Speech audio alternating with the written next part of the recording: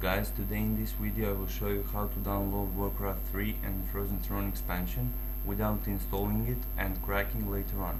And also I will show you how to install 1.26 patch for playing Dota. All links required for this video are in description. So basically first thing you need is uTorrent, just get it on this site very easy and fast.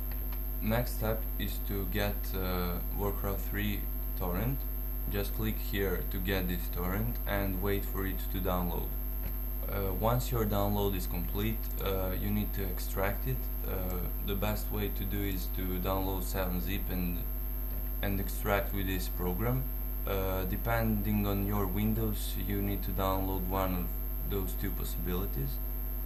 Then you probably want to play Dota online uh, the solution is to download the latest patch 1.26 I will show you how. Just go to this site and uh, wait for it to load. Once you get on this site just click on skip ad and it will automatically start to download. After that you you will need to move this uh, zipped file to warcraft 3 folder once you do that just extract it there and uh, your and your uh, patch will be installed.